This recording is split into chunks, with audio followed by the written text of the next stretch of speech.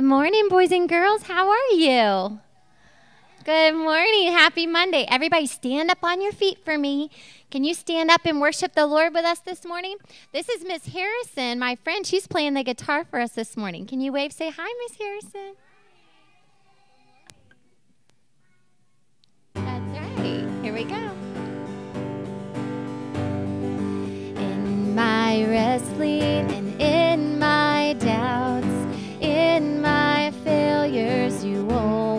walk out.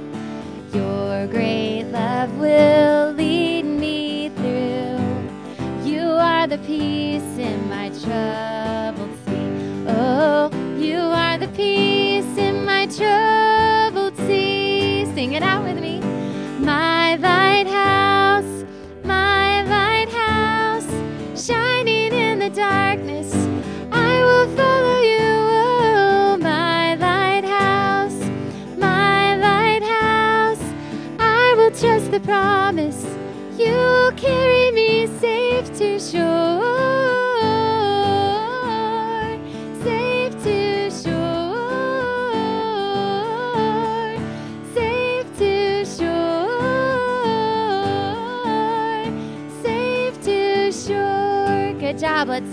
Chorus one more time. You ready?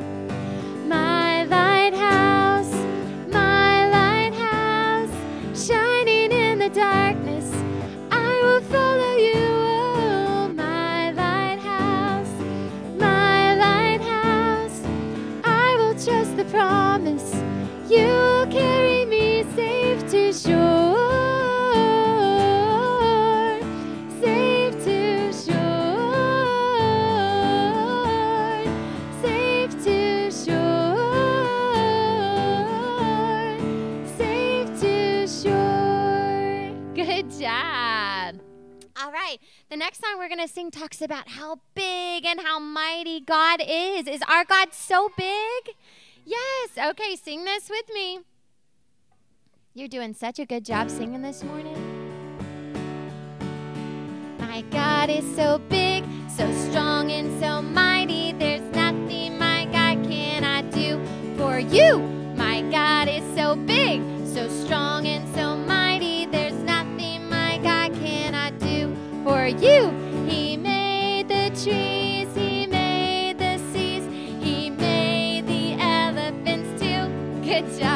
My God is so big, so strong, and so mighty. There's nothing my God cannot do for you. Good job. Let's sing it again. My God is so big, so strong, and so mighty. There's nothing my God cannot do for you. My God is so big, so strong, and so mighty. There's nothing my God cannot do for you.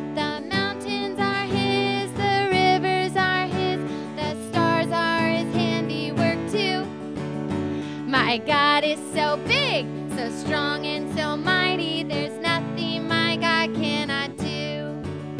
There's nothing my God cannot do for you, right? Good job. All right, one more song. Let's talk about how good our God is, okay? Sing loud with me. I think the other classes might can hear you if you sing really loud.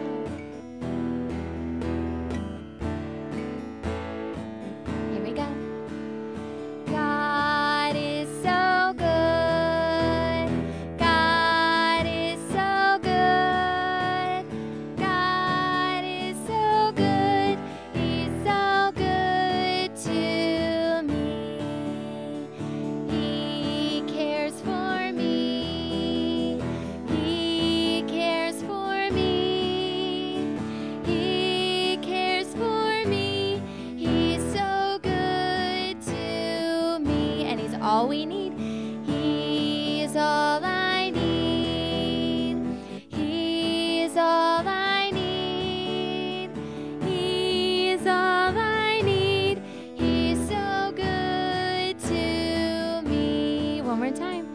God is so good.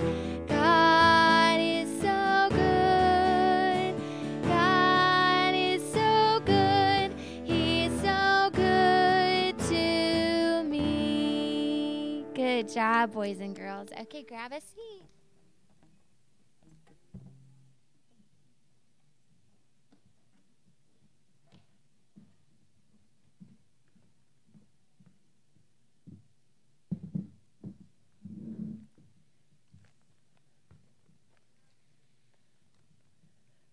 Good morning, boys and girls. How are you today?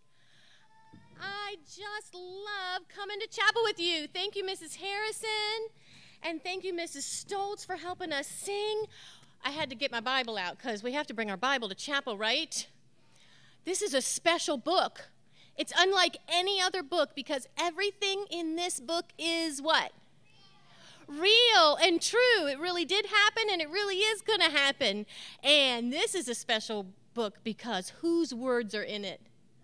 God's words are in it. That's right. I am a child of God and I want to hear God's words. I love God's words. Well, you'll know we've been talking about this all the time. I'm a child of God. John 1:12 says that he gave us the power to become his children. That's the best gift ever. I'm a child of God, and you're a child of God, and your mommies and daddies are children of God. Isn't that the best? Can we say it together? I am a child of God. Very good. Can, we're going to say it with a whisper. Are you ready? I am a child of God. Everybody stand up. Now we're going to say it with a regular voice. Standing up straight and tall and a regular voice. I am a child of God. Now we're going to say it with an excited, loud, excited voice. Are you ready? I am a child of God. Amen. You guys are great. You can sit down. I have a story today about a man who was a child of God. It's pretty cool. He was a child of God, and his name was Joseph. Some of you have heard stories about Joseph. Joseph had a what, boys and girls? He had a coat of many colors I couldn't find a coat of many colors, but I like to pretend. Will you pretend with me today? So I'm going to put on this coat. It's got lots of colors on it, right? It's got some red and green and blue and a little bit of orange. This is so we're going to pretend that this is Joseph's coat of many colors. So Joseph had lots of brothers, lots of brothers. And Joseph was the baby of the family. That doesn't mean he was a baby during our story, but he was the youngest one. Some of you are the youngest. Some of you are the oldest, and you have a baby brother or sister, and some of you are the baby brother or sister. But Joseph, he was the baby of the family, and his daddy made him a special coat, a coat of many colors, a fancy, smancy coat, and he was very happy with his coat. And one he was talking to his brothers, he was telling them about a dream he had, and they said, Where'd you get that fancy coat? He said, Dad made it for me. And he was proud of his fancy coat, and he looked nice. He was talking to his brothers, and do you know what happened? His brothers got jealous, and they got mad, and they got mean. And they took Joseph, and they took off his coat of many colors. They took it off, and then they were extra mean to him. Do you know what they did? They did. You guys know this story. So they threw him in a pit, and then they got him out of the pit, and they sold him. He had to go do some hard work. So I'm going to be a hard worker. You ready? He had to go do some hard work. Let's see. You ready? You can go to slide two. So he had to do some hard work. He had hard work to do. You know, this he did hard work. Like he had to do hard things that made him tired and sweaty. And he was in a land that was not near his home. It was kind of far away. And he'd work hard and he'd get tired and hot. And he just wished he could be back home with his coat of many colors and his daddy and his family. And do you know what? He remembered. He remembered that he was a child of God. And God's child is kind. And even though his brothers were mean to him, and even though he was sad that his brothers were mean to him, and he missed his family, and his work was hard, he was still kind. He was kind to everybody he met. He was so kind to everybody he met that he got a different job. And in that job, he was kind, but in that job, some, some stuff happened, and he ended up going to jail. That's pretty, pretty sad. But you know what happened when he went to jail? He remembered that he was a child of God, and he was nice anyway. He was nice even when people were mean. He was kind. He was always kind, and he always remembered that he was a child of God. And he found. Excuse the interruption. If the alarm happens to go off, please disregard it until further notice. It's being worked on. If there's a reason that you have to evacuate the building, we would definitely let you know. But as of now, just disregard the alarm if it goes off. Thank you. Thank you. So he worked so hard, and then God. God honored Joseph, his child, and he gave him a special job. And he got to work for the king. You have to use your imagination again because I did not have a crown. And he got to work for the king. He had a job for the king, so he no longer had to worry about that hard work. He had a nice job and he was respected and he had nice clothes. Now, in the in all the land in the in the in the world at that time in the area where he lived there was a famine a famine means that there was not much food there was hardly any food but because joseph is a child of god he had saved up food so his land had lots of food see my grocery bag he had lots of food when other places didn't have food at all so sometimes people from the other places would come and they would ask the king for if, to share their food. And it was Joseph's job to help share the food that they had plenty of with people who had no food. Well, do you know who had no food? Joseph's brothers and Joseph's dad had no food. So they came to Joseph's land looking for some food. And when they saw Joseph, they didn't even recognize him. His clothes had changed, and he had grown up. He was young, and now he had gotten older, and he'd gotten really strong from all that hard work, and they hardly even recognized him. And Joseph had a choice to make.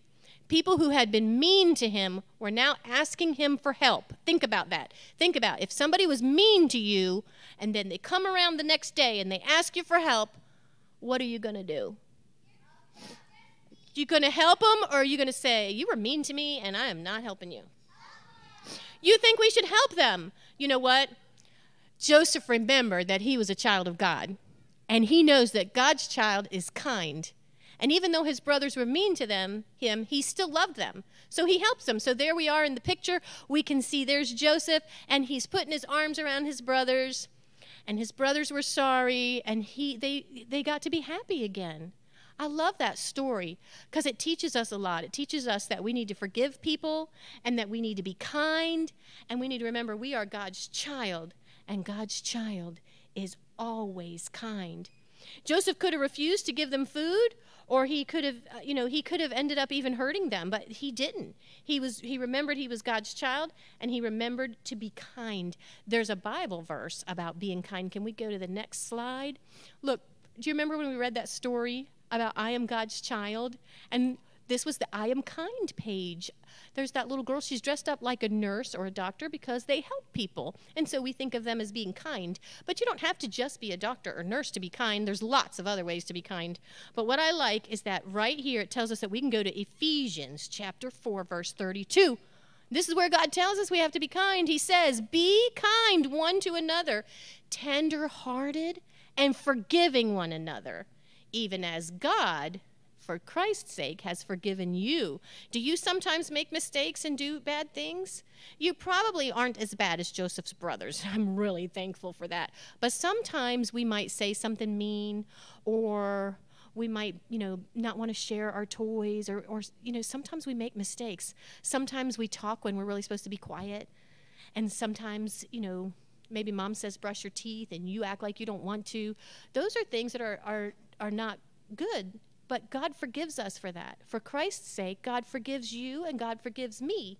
And God wants us to forgive other people just like Joseph forgave him. So forgiving is one way to be kind.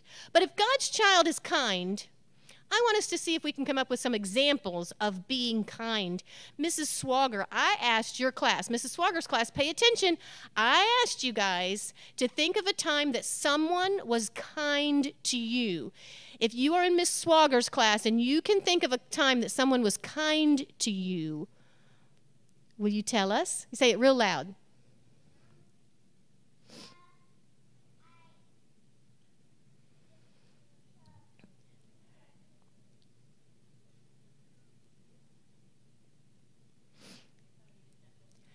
He's saying somebody was really gentle with him. They were careful. They didn't want to hurt him and hurt his feelings. That's how somebody was kind to you. Did it make you feel good? Yeah, it makes us feel good when somebody is kind to us. Let's see. Did Miss Swagger, do you have anybody else that wants to tell about someone that was kind to them?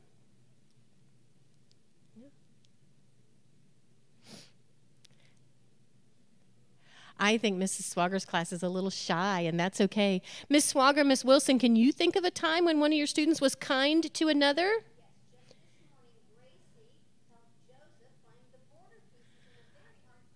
Oh, thank you for helping. She helped her friend find the pieces to a puzzle. That is beautiful. Helping your friends and helping them complete something, that is a great way to be kind. I love it. And I'm glad that you guys are so nice to each other. Mrs. Swagger tells me that this class is super nice and you guys are always kind to each other. I also have Mrs. Miller's class in here, and I asked them a question that was a little bit harder. I'm sure they know of a time somebody has been kind to them, and I'm sure there's a time that they have been kind to someone else. So I asked Miss Miller's class to think about ways we can be kind to other people during the school day. If you're in Miss Miller's class, raise your hand if you want to answer. Can I have little Miss Girardi, or will you tell me, Scarlett? Be kind to your friends. That's right. Tyler.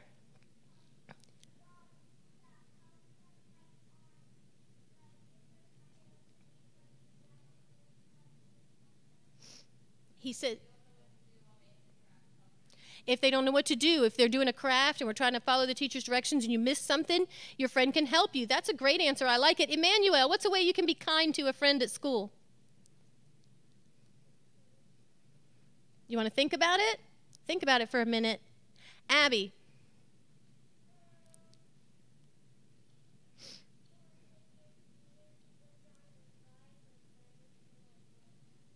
She says you can help your friend. If they're struggling with something, you can help them. That's a good answer. And I've watched Abby. She is a kind friend. She likes to tell people nice things and she likes to give little presents and she likes to give hugs. She has a very kind personality. And right behind you, Evan.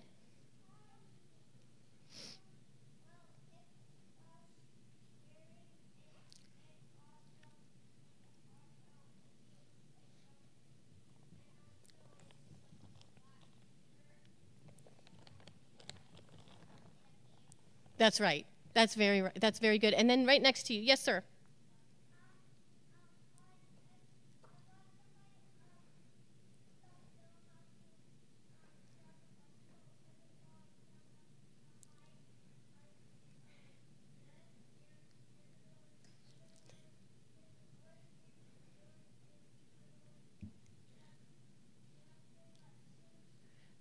You guys have some great ideas on how to be kind. I want you all, the people sitting and listening in chapel and the people sitting and listening in their classrooms, I want you to think of ways today that you can be kind. If you feel angry or sad with somebody, I want you to take a deep breath and I want you to pray about it and ask the Lord how you can respond in a kind way. So when somebody's mean to you, do you have to be mean back? No, you can be kind back, but sometimes that's hard to do. So that's why you might want to stop and take a deep breath and ask God to help you to be kind and show you ways to be kind, like our hero Joseph today. Can we pray together? Let's pray. Dear God, thank you so much that we are your children. Thank you that you've given us that privilege. Thank you for loving us and help us to remember that God's child is kind. You are the example of love and kindness. And Lord, I pray that we would learn from you and be kind to others. In Jesus' name, amen. All right, boys and girls, I hope you have a fantastic week and a marvelous Monday. Bye bye.